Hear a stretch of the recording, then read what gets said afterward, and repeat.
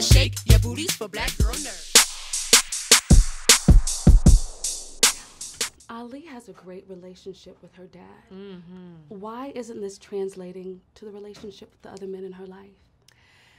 Because she didn't have a mom.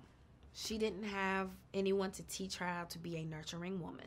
Um, she was just around men all her life. Even her, um, the person that she looks up to is a man, Muhammad Ali. You know, she's been taught to fight all her life. Um, and that's the beauty of this film and watching her arc because she thinks she's going to have this power to advance herself. And really, this power is teaching her so much about herself. Yeah. There's a theme of transparency in Mm-hmm. the movie as well. Do you think that in marriages and in relationships that your spouse should know everything about you?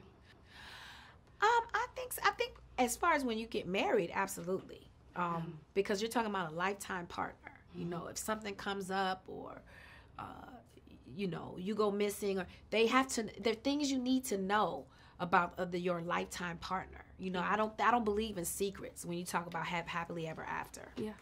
There were so many fun moments in uh, in the movie. Were the sex scenes improvised or scripted? Uh, both. It's there. The, the layout is there. The blueprint of this is this is kind of what we're trying to convey, and then you're in the act, and then you just start doing things. You know, so it's kind of 50-50. As a result of doing this role, do you have greater compassion for people who other people label as insane or crazy? Well, you know, I launched a, a, a foundation for mental health illness, so I don't ever label people as crazy or insane because mental illness is very real. What's the name of the organization? It's Lawrence Henson Foundation, named after my father. Very nice, very nice. There are a lot of young women who look up to you and they see your success.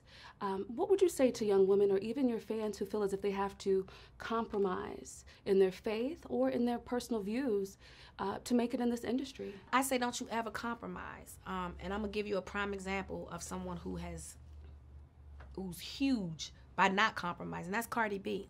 She is who she is. She knows who she is. She is okay with her past.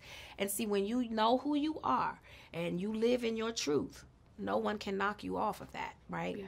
You can't. No one can use you against you. No one can use your past. I know my past and I'm cool with it. But look where I am now Yeah. you know so just live in your truth live in your truth and don't let nobody tell you what your truth is Yeah.